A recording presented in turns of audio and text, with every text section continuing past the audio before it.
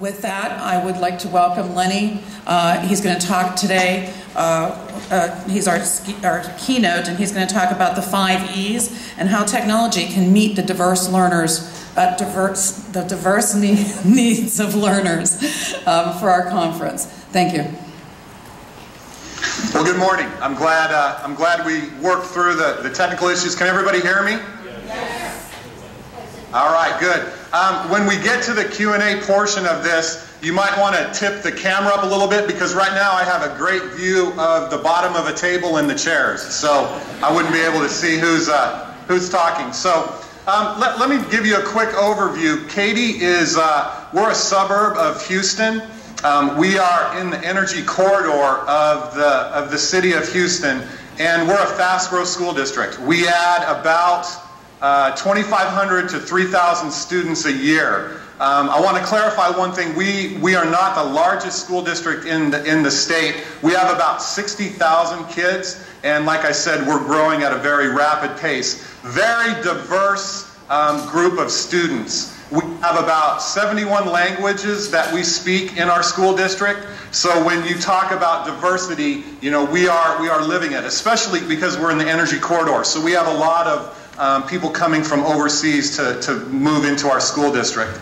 I want to thank you for inviting me to participate in the, in the conference today. You know, I was so excited when I saw the topic that you wanted me to speak on because that's my passion and it's been my passion for about three years. You know, technology, technology is such a key component to how we are educating kids today. And when you tie in the diverse learner and the diversity of learning styles, the one thing that goes across the board for any style or any student is technology. And when you look at that as a foundational piece, what you have to understand is that technology for the students today, pre-K all the way through higher ed, it's not a tool or it's not a nice to have. It's a way that they function. It's a way that they operate. And I think as soon as educators and education institutions start to really embrace this and accept it, that technology is just a part of life, I think that's when you're going to start to see a dramatic change.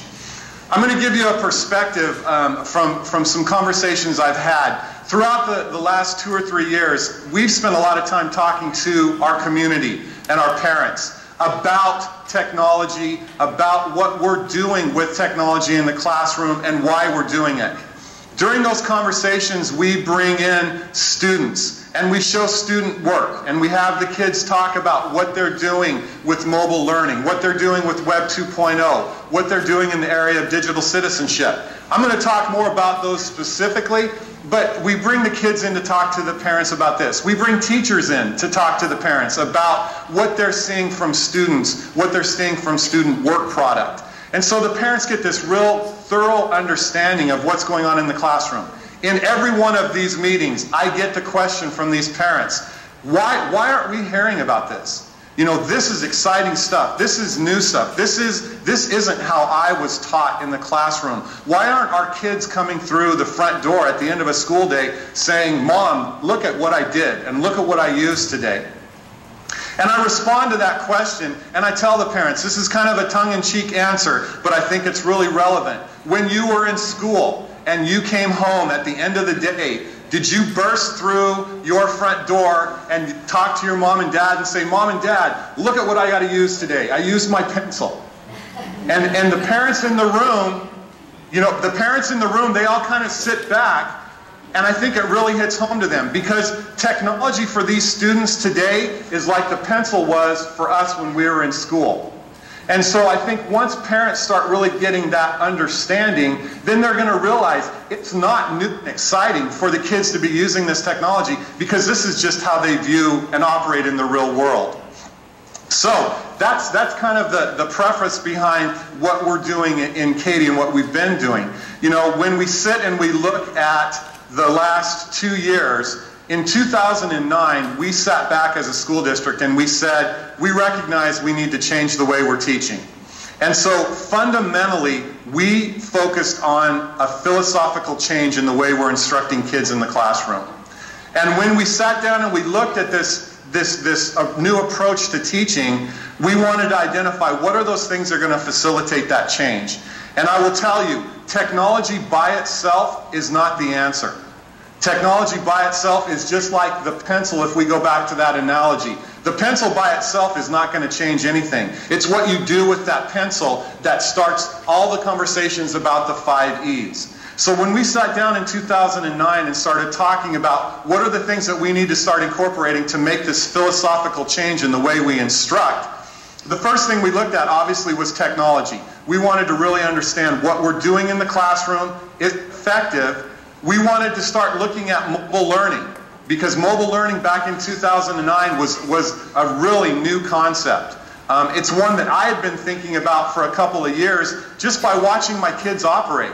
You know, my kids have a laptop, they have a cell phone. The majority of the time they're on their cell phone texting, you know, talking to their other students. So I've been thinking for quite a few years, how do we incorporate this device? And it's the one device that, uh, from a secondary perspective, 99% of the kids are going to have. Economic situation aside, every one of your kids have some type of a phone. So we wanted to test that theory. So we had the technology path that we were going to go down. Then we also looked at what are we changing when we talk about instruction. So we really started to focus on Web 2.0. And we really wanted to start incorporating Web 2.0 technology into the classroom. And so we created a group that was specifically responsible for being the champions to go out on the campuses and work directly with those teachers to talk and work with them on modeling the new Web 2.0 technologies as well as um, mentoring them on how to do it. At the same time, we created a Web 2.0 toolbox. Because what I didn't want was the flavor of the day Web 2.0 tool to be at every campus out there in some different form or fashion. And it was very difficult for us to support a structure where they could use any tool that they wanted. So we came up with a Web 2.0 toolbox that the teachers then could draw on and go into, and those were the tools that, that they could select and use in their classroom. So we had this group of people that were responsible for getting this out into the classroom. We had this toolbox that we were going to use with the teachers.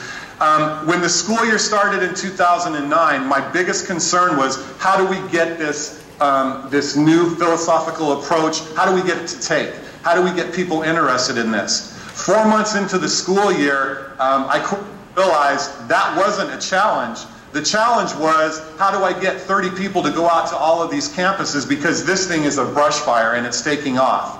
And what that showed us was the teachers were ready for something new in their classroom. And once we started providing this mechanism, they took it and ran with it. More importantly, the students. The students picked up on this and they started pushing their teachers even further than what we were thinking about. So in 2009, we had our technology path we were focused on. We had our Web 2.0 technology, or path that we were on.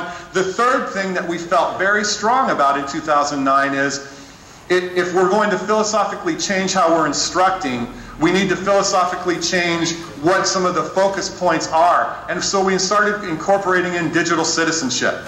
And I think that's a key component to educating the kids now. It's a responsibility I think all of us have, K through 12 and even higher ed, is digital responsibility, digital citizenship.